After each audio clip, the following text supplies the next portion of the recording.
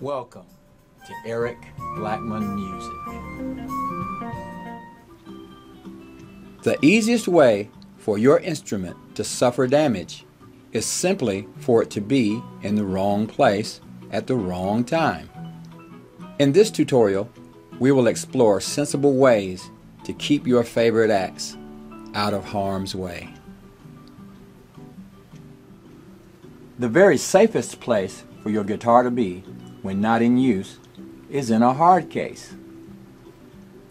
There's very little chance of something happening to your guitar inside of a hard case.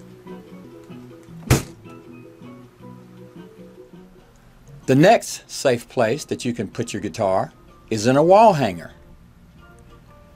The good thing about having your guitar in a wall hanger is that you will see it. And if you see it, you're more likely to play it. The next best place is a guitar stand. It's not likely that your guitar is going to get damaged sitting in a guitar stand. If you don't happen to have a guitar case, a guitar hanger, or a guitar stand, the next best place is to put your guitar in a corner. It's going to be unlikely to fall if the headstock is in a corner.